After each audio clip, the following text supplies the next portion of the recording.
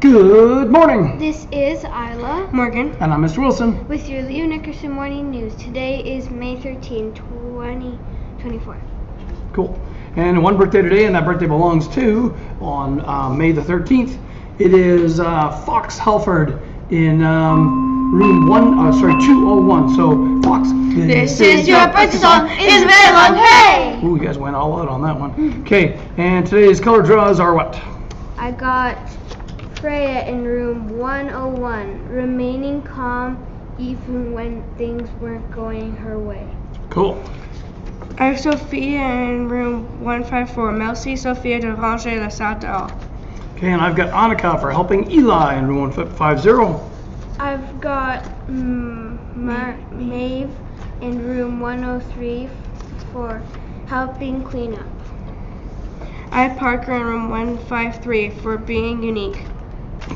Okay, and I've got Bryn in 208 for being a great cleaner. Okay, so that gives us Freya in 101, Sophia in 154, Annika in 150, um, Maeve in room 103, Parker in room 153, and Bryn in room 208. These are the color draws, and these amazing anchors of liberty right up your nostrils, along with Trix, our uh, executive producer.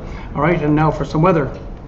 Today's weather forecast is a low of 8 and a high of 19. A little bit sprinkly today, but we're still going to have physic outside unless it just starts dumping on us, which I doubt it will do.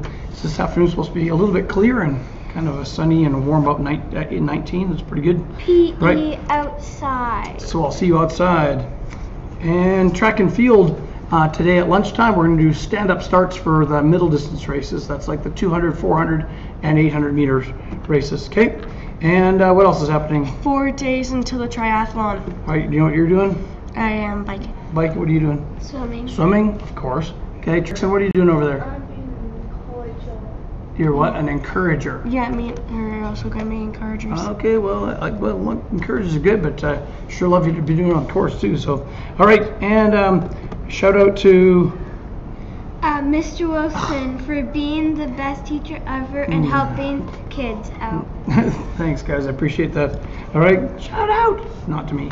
okay, this has been We Leo Nickerson Morning News for today, Monday. May 13th. Have a great day. Please remove your hats and rise for the singing of Canada in English. that was